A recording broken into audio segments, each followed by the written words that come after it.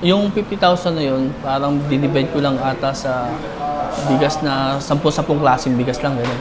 Basta sa itang nilera ko, anim lang nun, tanda-tanda ko nun. Tapos yung nilalagyan ko pa, drum lang. yun lang ang lalagyan ko nun.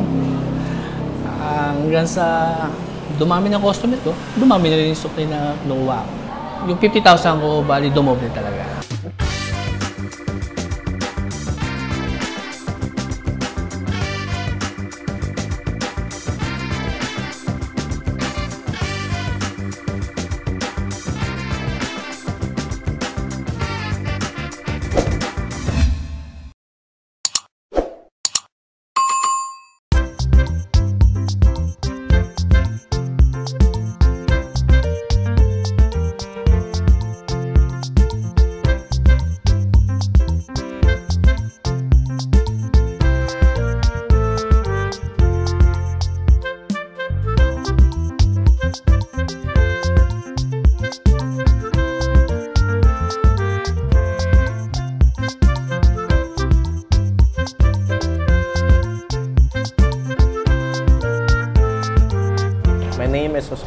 David II of TriStellar Trading Corporation and I'll tell you how we started. Actually, it started 1995 or 94 by my mother, Maria Teresa Carlos. She started in Las Piñas and we worked all the way up until 2004 where we incorporated TriStellar into a full-fledged corporation. And until now, after 20 years, we are still here in Cavite and spanning ov- spanning from Calabarzon and Metro Manila. Actually, it started nung ano eh, nung sa grandfather ko. So, my grandfather had a rice mill in in Mindoro. Tapos noon, tinutuloy lang ng mom ko yung pagbebenta ng bigas. So, ever since bata siya, nakakakuha na siya ng experiences sa bigas. So, nung time na kaya niya nang magbuo ng sarili niya, was tinuloy niya. So, that started in 95. Actually, ang bigasan kasi is ang isa sa mga pinakalumang style ng negosyo. So, very mom and pop kung tawagin nga namin. So, ang ginagawa namin is we want to corporatize what we normally know as a rice business. So, gusto namin padaliin lahat ng mga processes at padaliin ang buhay ng lahat ng aming mga customers. Kailangan standard muna ang isang negosyo. So, para ma-standardize namin yon is sa mga ginagawa namin is pinapaganda namin ang mga proseso para mas makapagbigay kami ng mas magandang serbisyo. So we standardize our quality para iisa lang ang quality ng lahat ng aming produkto na hindi ito nagbabago. So kapag binili ang TriStellar products is alam namin na itong quality na to is yan talaga ang quality niyan kahit na pang 10,000 sako na ang orderin mo.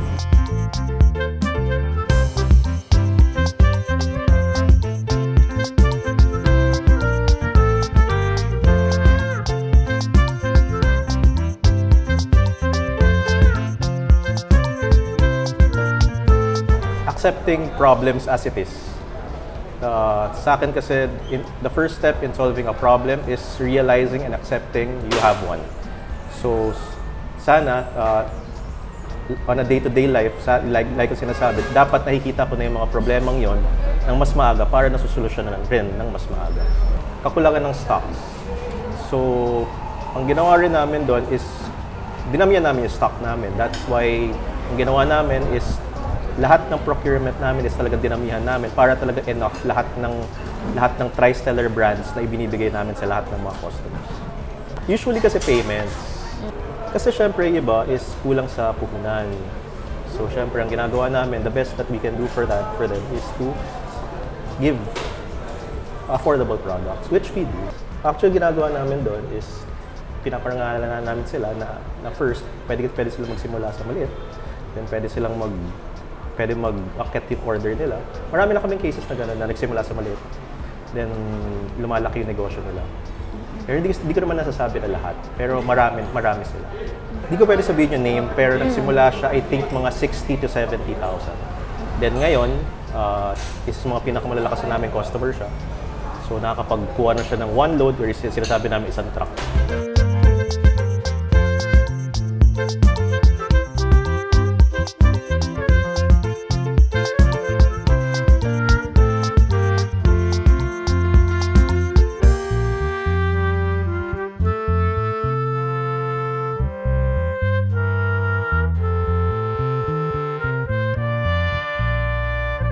Randy Babehis. Ang business ko ay bigasan. OFW ako. 10 years din ako sa abroad. Ah, CNC operator ako. Ah, yun nga, yung gumagawa ng cellphone, ah, laptop, mga ganun. Hanggang sa sawa na rin. Hanggang sa dumating yung panahon na may data tayo, 32 years old data ako. Nagsubok lang ako mag-business eh. Kasi babalik nga ako by January 2011.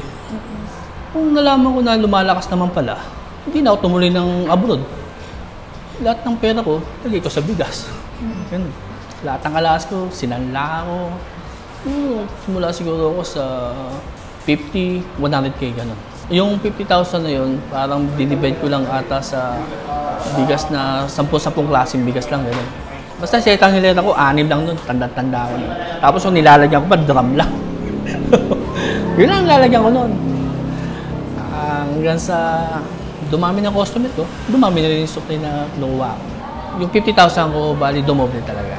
Hanggang sa lumaki na lumaki, hindi ko alam, nakaka-order na pala ako ng 50, ah, 100 sacks, bigas. Hanggang sa naging isang load na. Nung una, parang ano, naiilang ako kasi nga, sabi ng mga customer ko, yung mga katabi ko ng tindahan, wala yan, sandali lang yan. Yung mga nagsabi na yun, nawala. ako, nagpatuloy ako ng 14 years. Ah, tapos dumami yung customer ko, naging mabait ako sa kanila. Naging maayos yung mga transaksyon namin.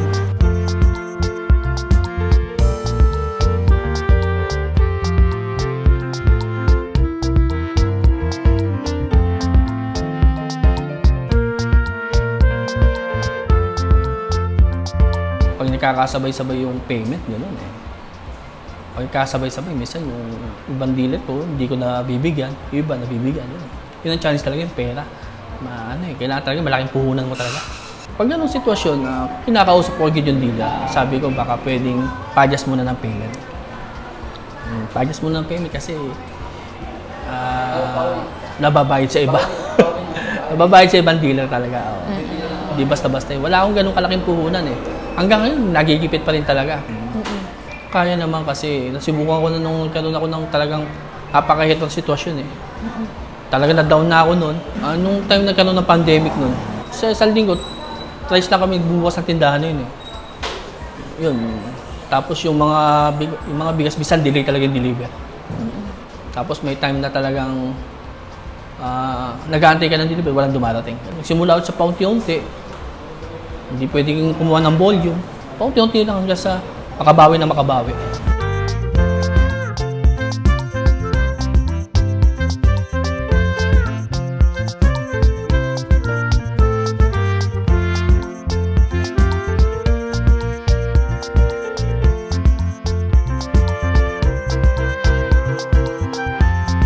Successful talaga. Nang una kasi, diyan ko lahat, kinuha lahat ng investment ko, yung Sun Life. Okay siya kasi kasama ko yung pamilya ko. Uh, imbis na uh, magtrabaho yung misis ko sa ibang bansa, hindi, hindi na namin tinuloy. Yung mga anak ko, kasama ko din. Hanggang sa nakabili rin kami ng dalawang house and lot, gano'n. Ano kami ng sasakyan, dahil nandiyan sa hindi negosyo ng bigas talaga mga anak ko nasa private school. Okay na ako siya kasi marami rin ako natulungan ng mga pinsan ko, mga kaibigan ko nagkatrabaho sa akin. Ngayon siguro, walong tao sila ngayon doon. Mm, walong tao. Tapos may may dumagdag pang dalawang tindahan sa akin. Bukod sa unang main ko. Kaysa na mamasuka sa ibang bansa, kasi quantity yung kinukuha nila. Dito, dito naman, may gap ka na, may excess time ka na pwede talaga magpahinga. Mas komportable pa Mas rin komportable ito. kami dito.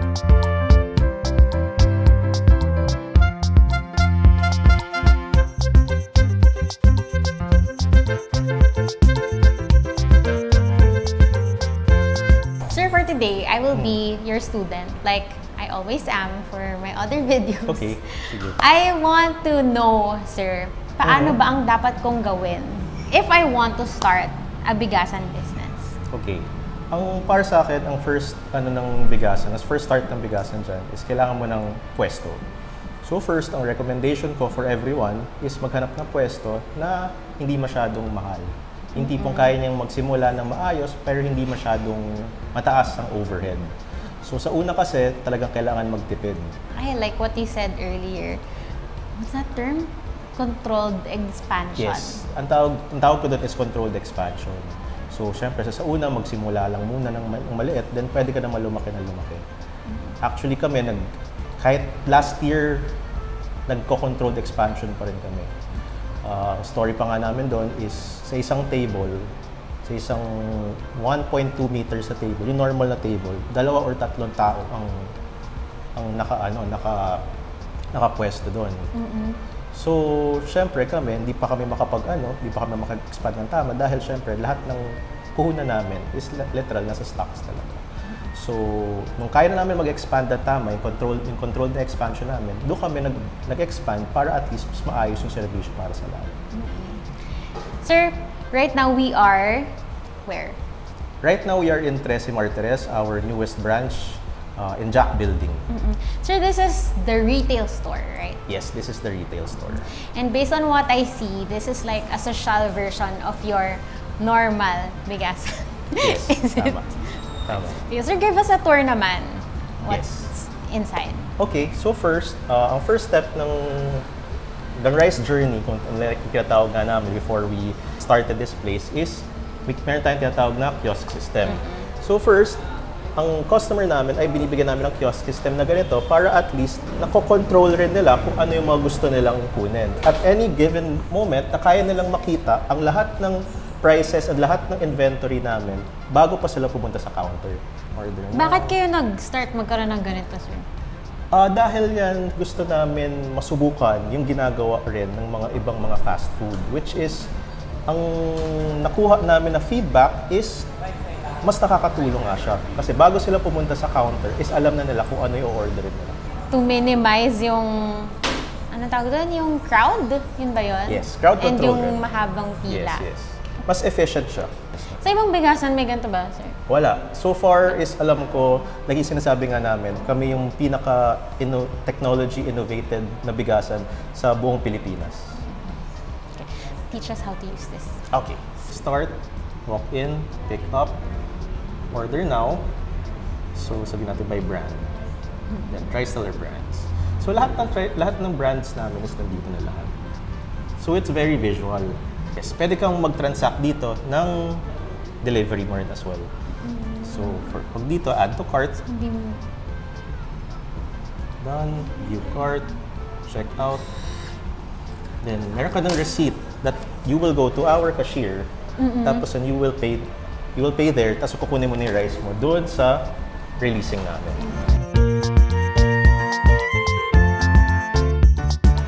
May mga rice, sir, na galing sa inyo mismo and meron kayong kinikerry Mhm. brands. Yes. Ilan po, sir, yung inyo? And ilan yung... Yung other brands mismo namin is 17. 17 brands naman. Pero ang talagang ano talaga ng inventory na pumapalo ko minsan 25. Pinakamarami namin 35 brands ng bigas. Depende yun kung ano yung meron sa merkado. If I want to start my business na bigasan, first thing I need is my location. Yes. And you said na hindi kailangan yung mahal. Mhm. In fact, you have to choose yung pinakamura. Yes, tama. And maraming bigasan, sir, they start sa house nila, right? Mhm, mhm. So, pwede rin nila yung gawin. Yes, yes. After first step, what's my second step if I want? Ah, the second step will be, syempre, finding a good supplier.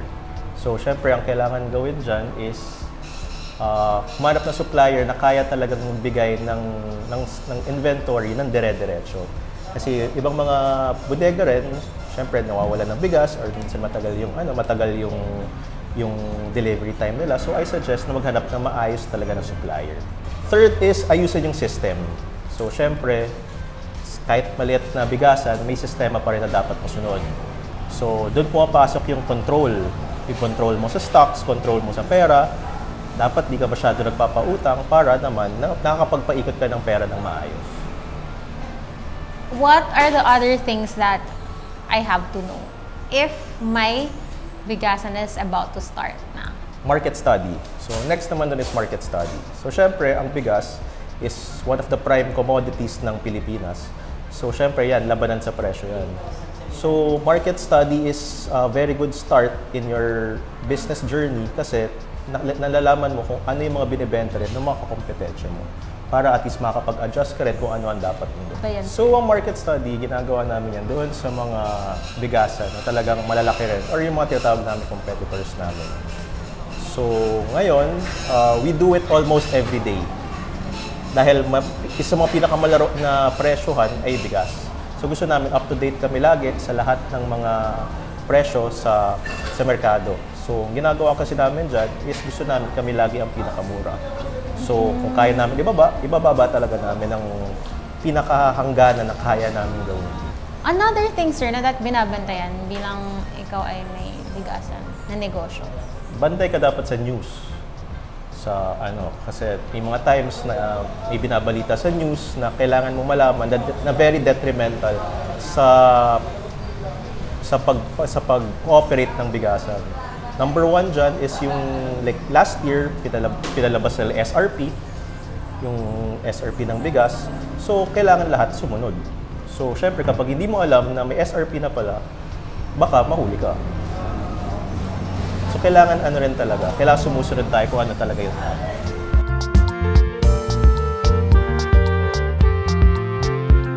Turuan mo naman ako paano tumingin ng magandang bigas. Sa amin, ang unang ginagawa namin sa pagtingin ng bigas is grade. Kung ilan ng percentage ng basag as compared sa buo.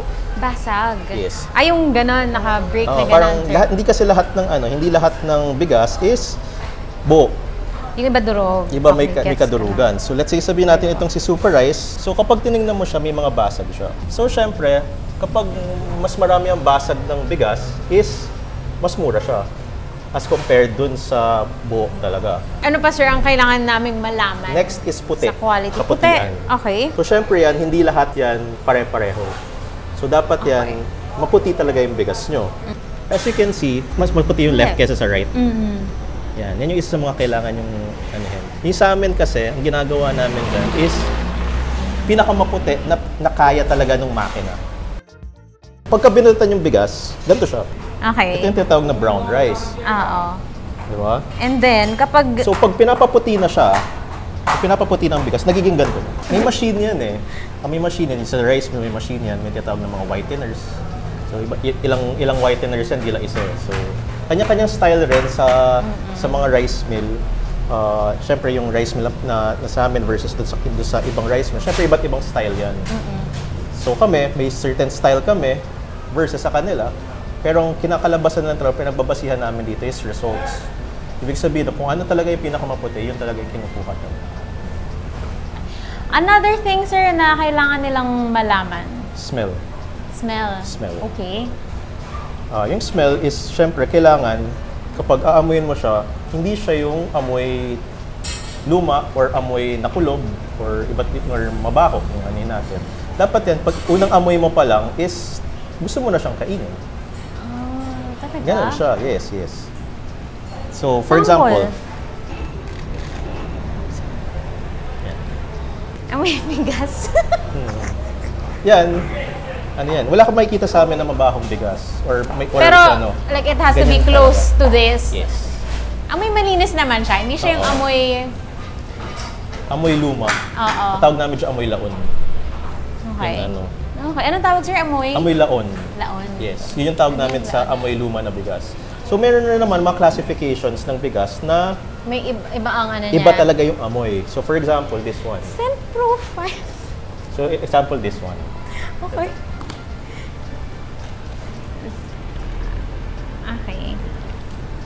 Yan talaga, it's naturally scented talaga. Once sinaing mo yan, that's dinorado eh. Yan tinatawag na dinorado. So kapag yan sinaing mo, buong bahay mo ma- ma- amoy ano, amoy dinorado.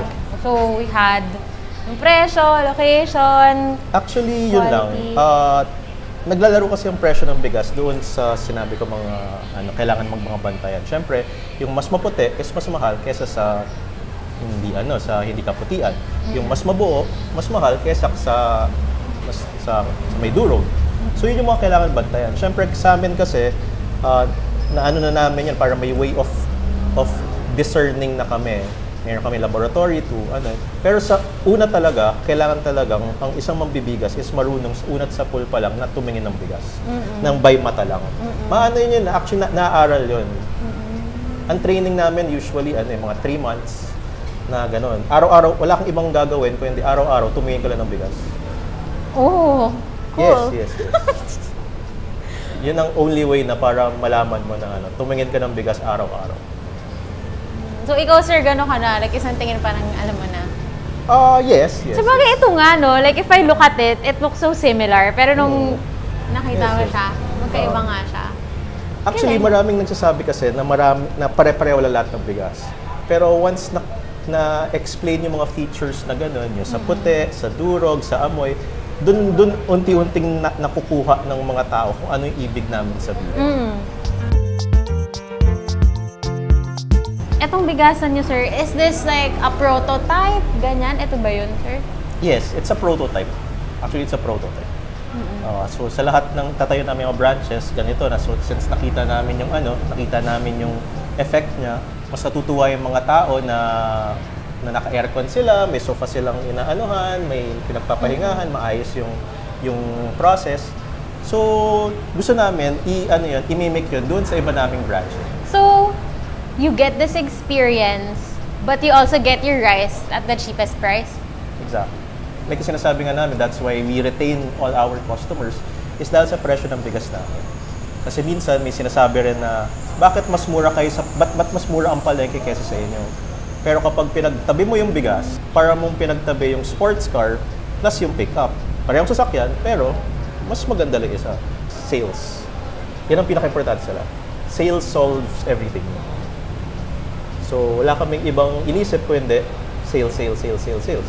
So, isa sa mga pinakamalakas naming ano, pinakamalakas naming departments is sales. Yan ang talaga pinagtutuunan namin ng pansin. Can you expound on that? The based on your experience, why ganon ang inyong golden rule? Kasi lahat naman syempre pag magtatayo ka ng ano, magtatayo ka ng bigasan or any type of negosyo, gusto mo kumikita siya. So syempre, two ways para pakita neg- ng negosyo is itaas mo ang sales or ibaba mo operating cost. So syempre kami sabay namin ginagawa. Mas mas naka-focus na kas, kas, kas kami ng mas paramihin yung sales para mas marami pa kaming mga maging mga customers, mas lumakas pa sila, mas lumaki ang negosyo nila. Kaya yung sinasabi lagi talaga namin, sales solves everything. All pro all problems. Sales solves all problems. Ito yung warehouse namin. So, So kapag meron silang bigasan, sir, this is a big version kasi, no? yes, this is Andito a bigger version. stock. This is a bigger version. So, kami nagsimula kami dito ng ano, ng ganito na, ng malaki na talaga kasi malaki na yung ano namin, yung yung demand namin. Yun yung tinatawag namin controlled expansion. Lahat talaga sukat. Hindi lang yung expand, expand na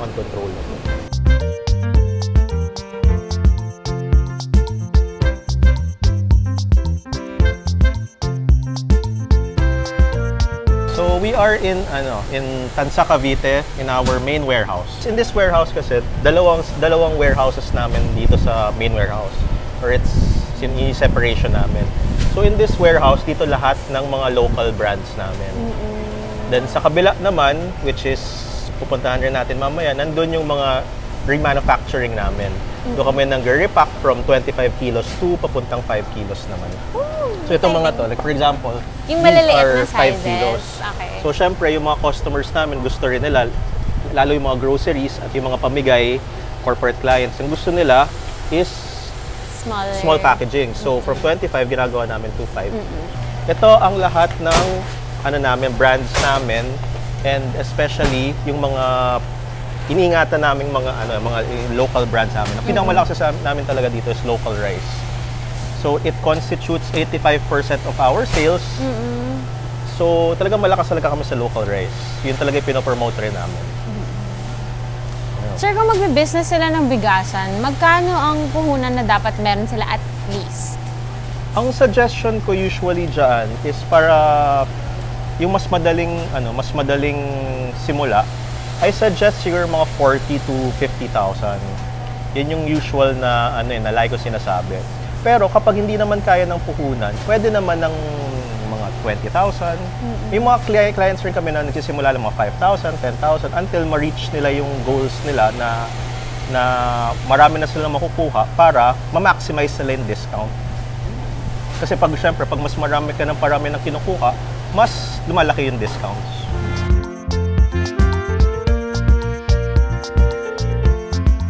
Ito na yun, Yes, sir. ito yung repackaging area namin. So, we have a machine. Ang ang roughly estimates namin dyan kapag sa full force niya is 400 to 500 bags an hour. Expansion talaga. What we want is to expand to further the further reaches of Calabarzon and Metro Manila. So, syempre, maraming ways yun. Uh, what we're thinking of the first time is franchising. Pero kasi syempre, ang nakikita kasi pa namin sa franchising ngayon is maraming nagsasara na franchising. Not, not solely on food, pero sa iba't ibang industriya. And before namin sana ilabas yung franchising namin, gusto muna namin is masigurado na talagang kikita yung mga franchisees namin. So, syempre, ah, gusto namin na maglabas kami ng isang isang product or isang service na alam namin na hindi kami mapapay. Ito yung usual na tinatawag natin na normal na bigasan.